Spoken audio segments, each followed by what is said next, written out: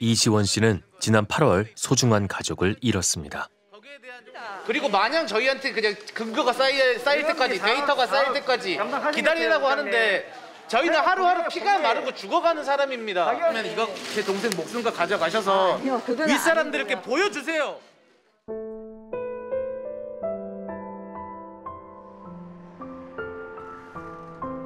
지난 여름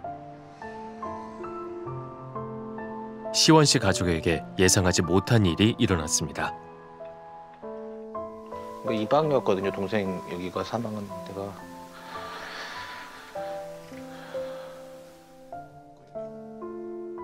지금은 아무도 사용하지 않는 이 작은 방의 주인은 시원 씨의 하나뿐인 동생이었습니다.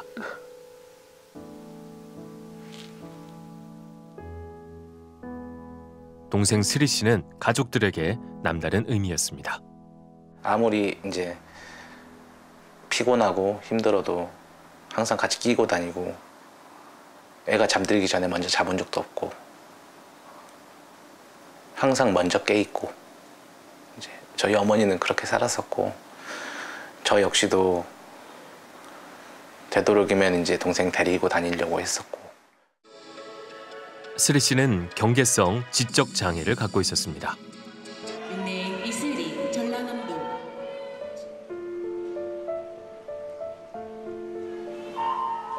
장애를 딛고 수영을 시작한 스리 씨는 선수 경력만 13년입니다. 누구보다 건강한 동생이었습니다.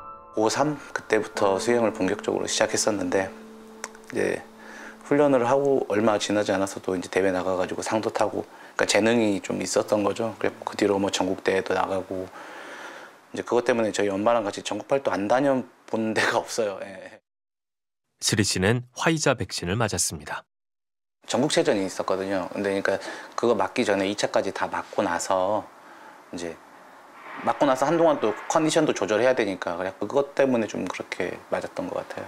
아, 좀 체한 것 같다, 가슴 좀 두근거린다, 막 그런 식으로 해서 타이밍을 먹이니까 또 괜찮아졌어요. 누구나 겪는 가벼운 증상처럼 보였습니다. 접종 이틀 뒤는 스리 씨 생일이었습니다. 그 자리가 가족끼리 함께한 마지막 식사였습니다. 엄마는 이제 샤워하러 들어가고 본인은 엄마 나 좀 머리가 좀 어지러워. 좀 잠깐 누워 있을게. 그래갖고 누워 누워서 자기 SNS도 하고 뭐 주변 지인들이랑 뭐 톡, 카톡 같은 것도 하고. 스리 씨가 방으로 들어간 지 한두 시간쯤 지났을 무렵. 저희 어머니가 저녁 먹을 시간쯤 돼서 깨우려고 방에 들어갔는데 이제 그렇게 숨을 안 쉬고 이렇게 있어서 바로 119를 불러 병원으로 옮겼습니다. 하지만 응급실에 도착하기 전 이미 스리 씨의 심장이 멈춘 상태였습니다.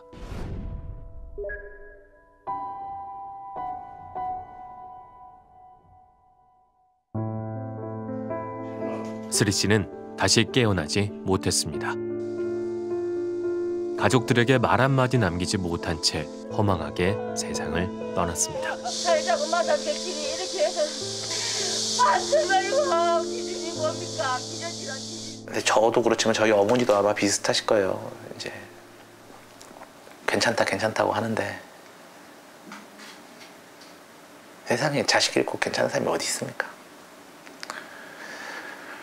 그러니까 저나 어머니나 동생이나 그러니까 저는 아버지가 없이 자랐기 때문에 서로 이렇게 의지하고 살아가는 사람들이었는데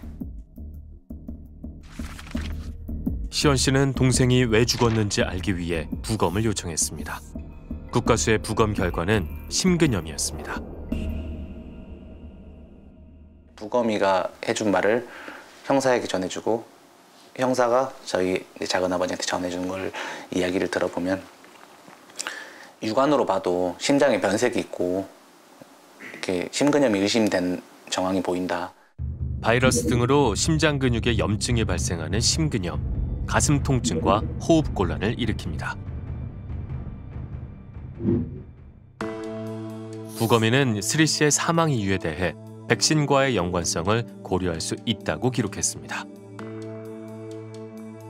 질병청 역시 급성 심근염을 특별 관심 이상 반응으로 정했습니다. 보건소로 찾아갔어요. 거의 매일같이 출근하다시피 가서 찾아갔거든요. 이제 나왔다. 라고 이렇게 했고 그 자리에서 받아서, 받아서 봤는데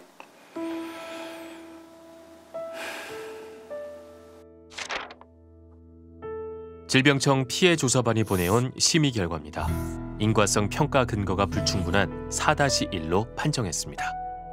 저희는 부검 자료까지 내, 내밀었음에도 불구하고 의료진, 부검이 소견은 아예 무시가 되고 있는 상황인데 그러면 그것보다 더 큰 증거를 어떻게 제시할 수 있겠습니까 저희가?